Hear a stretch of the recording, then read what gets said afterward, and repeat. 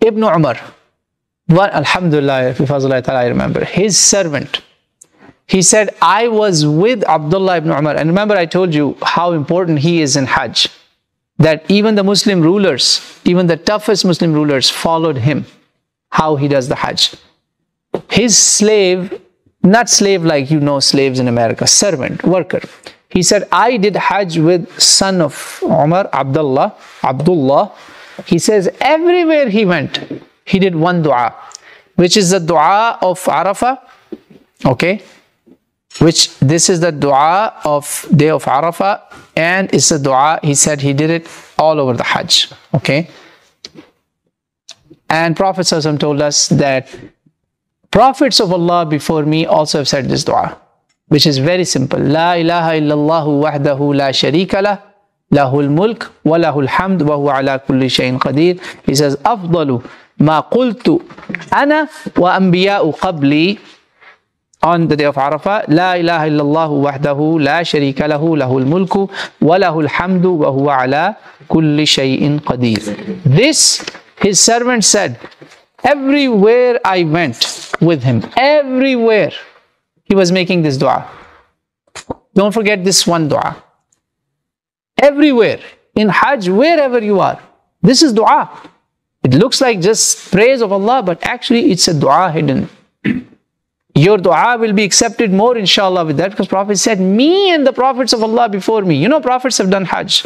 Ibrahim has done hajj. Musa has done hajj. Isa will do hajj prophet said so do this dua that prophet said that it's khayru ma qultu ana wa qabli. Another uh, so number one. Number two, don't forget رَبَّنَا أَتِنَا فِي الدُّنْيَا حَسَنَةً وَفِي الْآخِرَةِ حَسَنَةً وَقِنَا عَذَابَ النَّارِ 201 or 202 of Baqarah between Rukn Yamani and Hajar al-Aswad and anywhere in Hajj.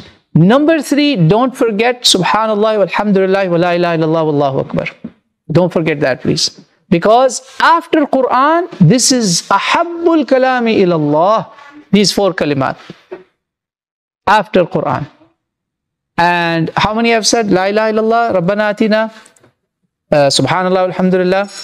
Number four, when you pass Mizab al-Rahma, you know that Mizab, I don't know what English what you call it, the, the where the water falls from the roof of Kaaba.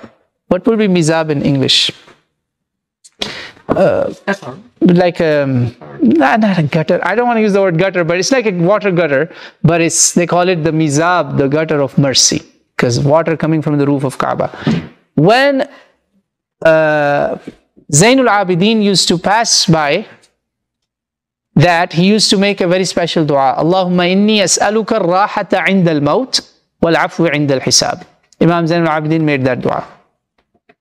And when he got in the hatim, he said, Oh Allah, I am ubayduka bifanaik, bifinaik, wa muhtajuka bifinaik, wa miskinuka bifinaik.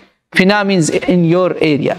So these are some of the special du'as. And don't forget dua on the day of Arafah. And the, that La ilaha illallah and many other du'as with it. Just keep doing du'a and pray for the whole ummah. This is the day you should not even think your du'a will not be accepted. And always make general du'as. Khair for dunya and akhirah. Khair, barakah, you know, salawat on Prophet. Start your dua with salawat on Prophet, end your dua with salawat on Prophet. Allah will be happy with you on that. Your dua will be accepted more.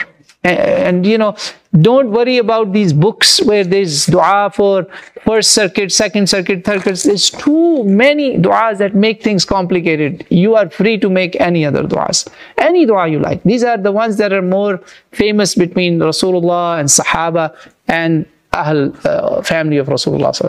Yes, any last.